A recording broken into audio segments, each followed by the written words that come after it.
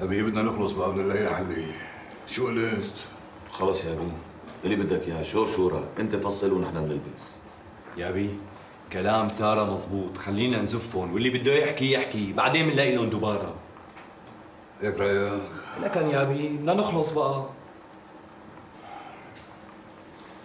أبي اتكلوا على الله. توكلنا على الله خلينا نقول يا رب. يا رب. بس مش قد خاطر بقى. شو بنسوي مشان خاطر؟ والله ما بعرف يا أبي. هذا متربس علاته وتربسي. ما بعرف شو بده يعمل مع مني. يلحق بايده لأنه يا بي خاطر عندي. أنا بعرف دواء دواء عندها إيه هلا رح تشوفوا يلا يلا.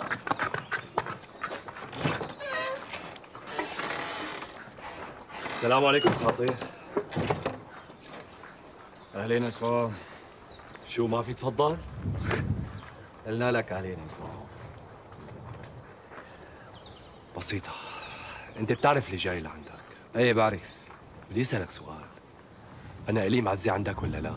والله بعد اللي سواه أخوك ما خلى معزلك عصام لا يا خاطر. لا ليش هيك عم تحكي؟ شو صاير لك؟ حط حالك محلي لك عصام شو بدك تعمل؟ اللي شو بدك تعمل. بتخلي أختك عند واحد خطف مخلوقة لا من دينه ولا من توبه؟ اللي هات. شو رأيك؟ بعدين أنا هونت عليكم الموضوع كثير كثير لك عصام خلي معتزه طلق خيريه خاطر اوعك أوعك تنسى الخبز والملح. لك نحن أولاد حارة. شو بك؟ شو صاير لك؟ لك عصام نحن اللي ما بننسى شيء كل هذا الحكي ما بيهمني لأنه بتعرفوا بس بالاسم. أنا اللي بيهمني سمعت أختي. سمعت أختي وبس. فمشان ما ننفخ قلوب بعض وما ناخذ ونعطي كثير خلي معتز يطلق خيرية. وأنتم بخير ونحن بسلامة. هذا مؤاخذ عصام. في شيء تاني؟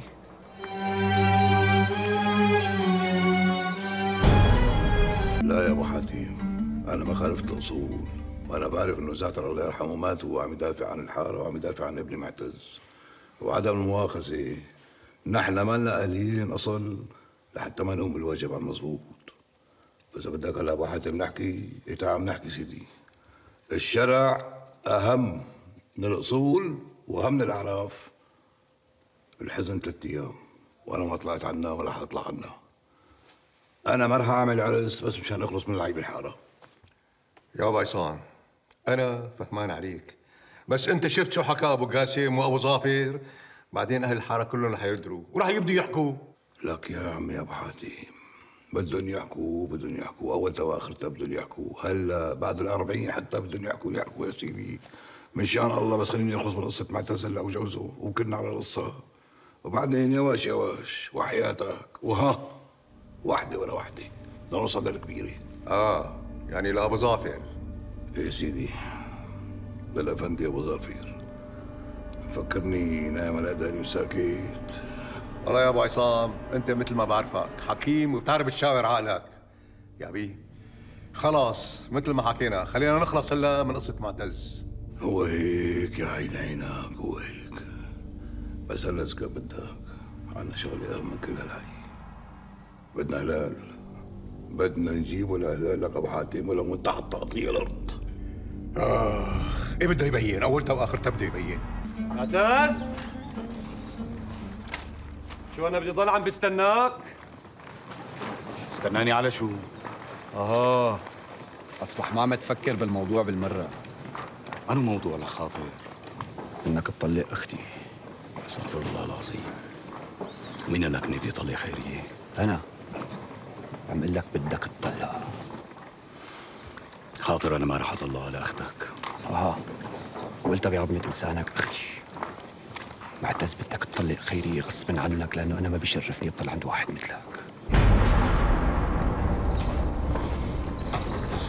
والله يجيبك يا طولة البال. معلش. بتضل أنت أبو الخطوش بس أنت مو ملاحظ إنه طولان لسانك كتير. صح. عم يطول على العالم اللي مثل حكايتك. خطفت البنت وحطيتها ببيتك وبعد الصلحة بدك هلا تعمل عرسك. ولسه دم الزلمة اللي مات مشانك ما نشيف فشو رأيك؟ شو رأيك يا زلمة بهيك عقيد؟ العمى شو طلعتوا عيلة مخبيين؟ بوعيكم ومتعوب عليكم على اصول يا زلمة. ولك اخرس لك معتز هذا اللي بيطلع بإيدك تعمله تضرب وتخانق بس فعايل الرجال على الحق وحقيقي ما بتقدر تعملها لك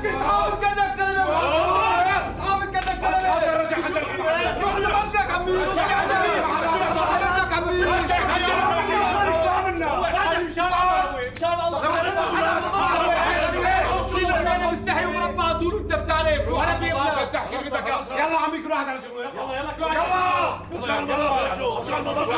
عمي ما في حكي نحكي لك يا عمي اسمع كلامي عليك لازم يا عمي. خلص يا خاطر مشان الله امشي معي. امشي لك صار بعرف طريق بعرف طريق. بعد عمي لك يا جماعة الخير يا جماعة الخير. ليش ما حدا عم يفهم علي؟ أنا ما بيشرفني يكون واحد مثل هاد. صهري بعد العملة اللي عملها. انتبه على لسانك خاطر بضايع عليك. الله يرضى عليك. انت عم تطرش تلحوش هيك ما عم تحترم لا كبير ولا صغير لا عمي لا. أنتوا اللي ما خليتوا فيها لا احترام ولا قدر ولا قيمة. هلا بدك تقول لي انه ابنك احترم أهل الحارة لما خطف بنت العالم؟ وانت عم تحترم أهل الحارة لما رح تعمل عرس الجمعة الجاي نكاية بكل أهل الحارة لك عمي؟ لا عمي لا. شو بك لك خاطر؟ ضب لسانك بقى. شو نسيت الخبز والملح؟ لا عصام ما نسيت الخبز والملح وأنا عم بحكي بوارد تاني أنتوا اللي مكبرين الحكاية.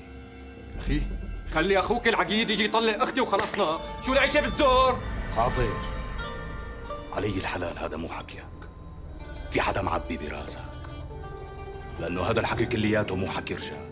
لا يا معتز هذا حكي رجال. حكي رجال ومكتر كمان. لا أنت شو بدك يا ابني؟ شو بدك؟ هات شو. عمي مو أنا اللي بدي. أنتوا شو بدكم اتركني يا أبو حسن. أنا بدي ابنك يطلق أختي وخلصنا. أنت شو معتز؟ أنا الكلام اللي عندي قلت له اياه طلاق ما عندي. شرف اسمع الحكي عمي اسمعوا. أيوه. وأنت يا أبو عصام؟ إحنا سمعنا الحكي اللي قاله معتز. ليه على خاطر يسمعوا منيح هذا الحكي بينحكى بيني وبينك خطير. مو هيك؟ ومو وين ما كان مو كيف ما كان حكى عرض هذا الكبير. فاجبر بخاطر عمك ابو عصام خليني أحكي كلمتين بس أحسن ومع شنك كمان. بعد إذن الحاضرين تفضلوا يا رجال. خلي ابو عصام وخاطر يحكوا لوحدهم تفضل.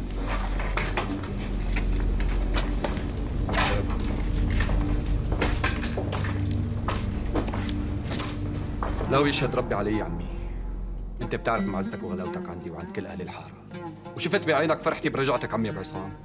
بس قل لي هذا اللي عملته انت ومعتز. ما بيطلع الأعلى من الراس. رح أجي معك خاطري رح أجي معك. اللي عمله معتز بيطلع لعلم الراس حبيبك.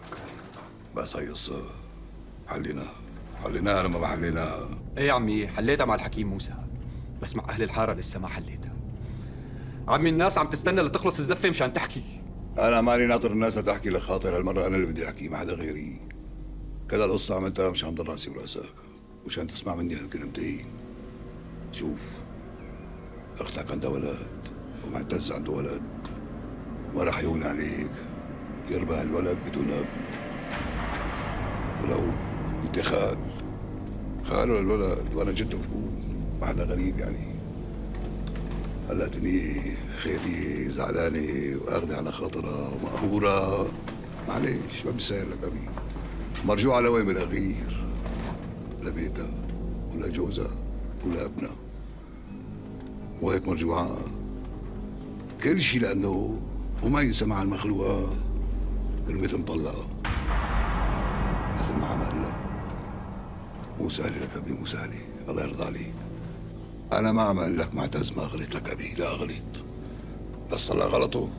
صلح على ملأ وعلى سنة الله ورسوله. بالشرع وبالحلال. وشاع سارة هلا مرته حرمته على سنة الله ورسوله. وصبرها بصبر كل ضرة بهالحارة اللي لا. طيب عمي كل اللي صار بالحارة كان صار. لو معتز أخذ من أهل الحارة. شعر الحكي لك بنعكسها اللي صار بيننا وبين أهل سارة انحل. لكن حل ومشي الحال وتصافينا واللي صار بيناتنا نحن أهل الحارة وحده ما ينحل. لك شبك لك خاطر؟ لك ابني شبك شو صاير علاتها لك يا خاطر انت بحياتك ما رفعت رأسك قدام الكبير. دائما محترم ومربى. وبيرفع فيك الراس وبينشهد لك ليش هيك صاير فيك لك ابني؟ عم تحكي شرابي غلوي صاير. اللي أنا تحكي معي الحكي؟ يطلع صوتك علي أنا لك أبي. والله أنت صبرك بسعر معتز وصبر عصام فرج شكل ما ما كنتوا صغار. لا لا. عم يطلع صوتك قدام الكبير وعم ترد علي جوابات قدام أهل الحارة. بس والله ما ركبتني مخي عمي. ولا تحمل مخي اللي سواه معتز. ولا مخ يتحمل اذا بدك. يا سيدي ولا مخ أهل الحارة كلياته والله بعرف لخاطر أنا حاسبك من يمي. وداعي على صدري. مشانك وفيك وباسمك. والله بعرف أنا هلا مشكلتي مع أولاد الحارة. وأنت لازم تكون من يمي ومعي وضدي. عمي أنا وقفت معك. أبي أنت عم توقف جنبي ما حدا بيقول لا. بس عم توقف غلط. لما بيهجموا ناس على الحارة بتوقف مع الكل أنت. ومعي أنا بالذات قبل كل الناس خصنص بس لما بيروحوا بتبلش تغلط فيني وبغيري من الفريق. ما بيصير لك حبيبي شانك مشان قدرك وقيمتك وانت رجال محسوب ابن رجال لكن أنتم معتز تتخانقوا بنص الحارة. لا حول ولا قوة إلا بالله. لا حول ولا قوة إلا بالله عمي. أبي بدنا نخلص من الصبا. الله يرضى عليك. وبعدين قد ما بدك بنحكي. عنا وقت بنحكي قد ما بدك وين ما بدك بسموت مو بالحارة. خلص مثل ما بدك عمي. خلص من قصة معتز. بعدين بنشوف قصة خيرية كيف لازم نحلها. خيرية أهم شيء ها؟ براس الأرمى خيرية اوعك تجبرها على شيء لا تقول لها قالوا إيل أبدا. اتركها حردانة زعلانة مقهورة آخر مرجوع على جوزها ولا ابنها لك أبي. الله يرضى عليك. روق بس أنت روق روق وهدى وهي حتروق وتهدى خذ مني من الثاني اسمع مني. خلص مثل ما بدك عمي الله يرضى عليك.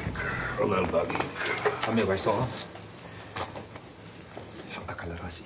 ما تواخذني مشان الله لا تدمك لله لك. ها. ها. أنت حقك على راسي. على راسي عمي أهلي بخاطر تعال معتز أمور يا ابي بوس راسه. أمرك يا ابي أنت غلطت بحقي إيه. بس الدم بعمره ما بيصير مي لخاطر. ما بيصير مي. وهي بوسة على راسي عقلي طيب بوسي ثاني